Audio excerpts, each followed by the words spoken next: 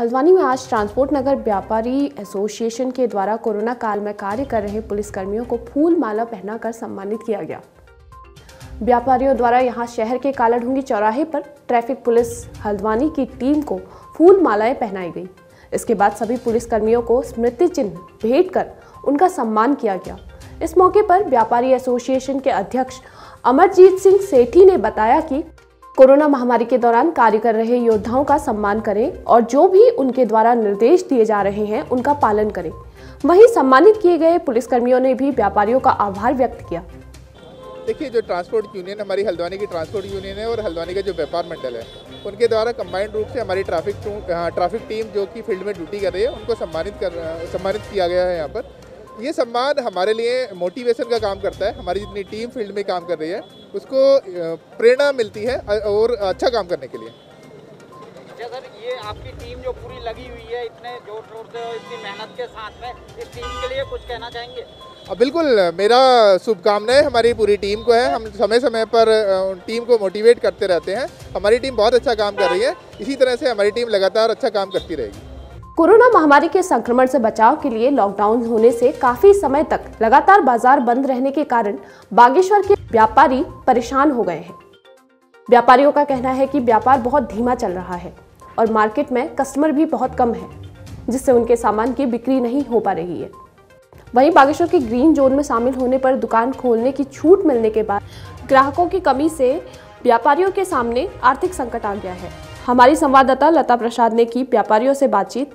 क्या कहते हैं व्यापारी? आइए सुनते हैं उनकी जुबानी। देखिए, बागेश्वर नगर में जब से लॉकडाउन चला है और मार्केट खुली है जिस दिन से, व्यापार बहुत मंदा हो गया है।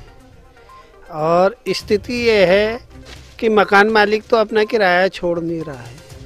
वो तो पूरा किराया ले रहा है। जो हमारे सरकारी दुकानें, जैसे नगर पालिका की दुकानें हैं नगर पालिका भी उनको किराया नहीं छोड़ रही है, जबकि शासना आदेश भी है, एक तरह अपील है प्रधानमंत्री की, कि इनसे किराया ना लिया जाए, लेकिन प्राइवेट छोड़ो, सरकारी भी नहीं छोड़ रहे हैं किराया। और दुकानदारों की तो बहुत बुरी स्थिति हो गई है। अभी दुकानदारों की स्थिति ये हो गई दिल्ली मार्केटें बंद हैं तो माल की भी कमी हो गई है मार्केट में। कपड़ा भी कम आ रहा है जूता चप्पल और भी कई आइटम है जैसे बिसाते का ये वो। तो मार्केट बड़ी मार्केटें नहीं खुली हैं तो इससे नुकसान ही हो रहा है दुकानदारों को। उनके बाद आज ग्रीन जोन होने के बाद आपको छूटें मिली हैं कि दुकान खोलने की। तो क्या लगता है आपको कितना अंतर और पहले और आज के बिज़नेस में आए? हाँ पहले जिस समय लॉकडाउन था तो उस समय बंद ही था तो व्यापार का चक्र घूम नहीं पा रहा था। तो अभी क्या है, अभी हालात थोड़ा बदले हैं। लोग भी परचेजिंग के लिए आ रहे हैं और एक कुछ कतिपय लोग शादी के लिए भी आ रहे हैं और शादी का कपड़ा ले जा रहे हैं। सोशल डिस्टेंसिंग का पालन करके वो लोग शादियाँ कर रहे हैं अपना। और यहाँ पर भी हमें थोड़ा शोरूम में अपने तब्दीली करनी पड़ी क्योंकि काफ़ी संख्या में लोग अंदर घुस जा रहे थे। तो को किस तरीके से मार्केट में बदलाव देखने को मिल रहा है और कस्टमर अगर मार्केट में है तो वो कितना खरीदारी कर रहे हैं? कोरोना के जब से कोरोना काल शुरू हुआ है, तब से मार्केट में बहुत ज़्यादा गिराव है। मार्केट में कस्टमर बिल्कुल नाम मात्र है। और हर कोई कस्टमर, जैसे मिठाई है, मेरी मिठाई की दुकान है तो कई कस्टमर मतलब मिठाई मिठाई लेने ही नहीं आ रहे। तो बड़ा ही डाउनफॉल है अभी हमारे काम में। पहले की अपेक्षा, पहले आप लोगों ने देखा ही होगा, काम रहता ही था हमारी दुकानों में, पर अब बहुत कम है। व्यापार में तो देखें तो काफ़ी बदलाव आया है। इस बार क्या कहते हैं लॉकडाउन की वजह से काफ़ी दिक्कत का सामना भी करना पड़ रहा है। बाहर से सामान वगैरह भी अभी मुश्किल से मिल पा रहा है और मार्केट में भी लोग काफ़ी डर रहे हैं आने के लिए और काफ़ी मतलब भीड़ भाड़ एकदम से पूरी, जो भी थी पूरी सब कुछ ख़त्म हो चुकी है। और देखते हैं अभी आगे क्या होता है। हम उसको, पहले तो हम सैनिटाइज़र के लिए उनको दे रहे हैं, उनको सैनिटाइज़र यूज़ करा रहे हैं। उसके बाद उनको हम अलग अलग बिठा रहे हैं और जितना हो सके हम उनको पहले अगर अंदर थोड़ा सा ज़्यादा भीड़ भाड़ है तो उनको हम बाहर से रोक रहे हैं कि थोड़ा सा रुकिए करके और उसके बाद हम अपने स्टोर से भी उनको मतलब काम कर रहे हैं कि अंदर दुकान में ज़्यादा भीड़ भाड़ ना हो, इसलिए हम उनको अपने स्टोर में भी, स्टोर से भी हम थोड़ा काम कर रहे हैं अगर ज़्यादा थोड़ा सा भीड़ भाड़ हो रही है तो। और ना मार्केट तो बहुत डल चल रही है अभी। मार्केट पर मतलब ये है, कस्टमर अगर माल की डिमांड करता माल ऊपर से आ नहीं पा रहा है।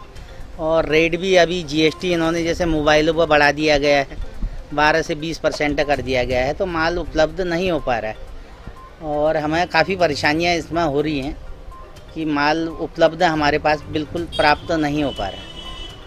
तो हम इनसे कहेंगे कि ये माल उपलब्ध कराएँ मार्केट पे, क्योंकि माल अगर उपलब्ध नहीं होगा तो ओवर रेट जो है रेट उसके बढ़ने, पक्की बात है। आ, मार्केट में तो कस्टमर नाम मात्र को ही है बहुत और बदलाव तो बहुत ज़्यादा आया है।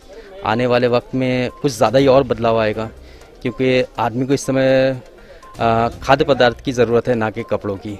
और शादियों का सीज़न होता है इस समय तो इस समय शादियों का सीज़न बिल्कुल ख़त्म हो चुका है और मुझे नहीं लगता कि अब जो कोई नवंबर से पहले कुछ हो पाएगा।